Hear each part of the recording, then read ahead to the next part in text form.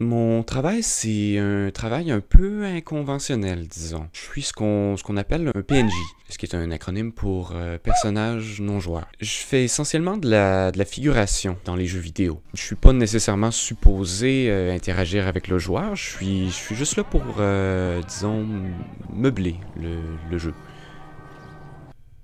Je suis là, mais on, on me voit pas. J'ai une vie tranquille, mais, mouvementée aussi. Ça, ça marche un peu par contrat. Comme par exemple, il y a deux mois, ma job, c'était de rouler en voiture. euh, en boucle. Non-stop. C'est quand même bien. Tu vois des beaux paysages. Tu as le temps de les regarder.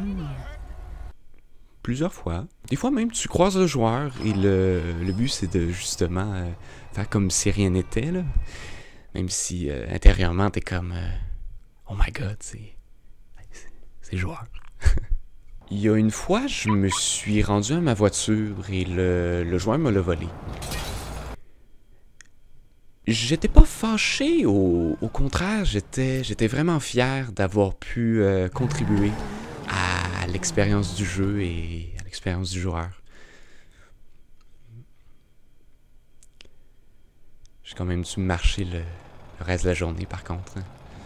J'ai déjà fait d'autres contrats aussi pour d'autres jeux. J'ai déjà fait du, du RPG, fantasy. Euh, et là, là, j'avais des interactions avec le joueur. Bonjour voyageur, comment puis-je vous servir? Ah, vous êtes intéressé à me vendre des articles Je vous écoute.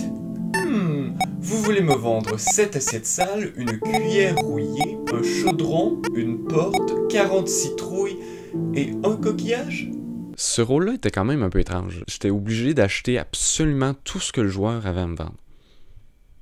Qui se promène avec 40 citrouilles?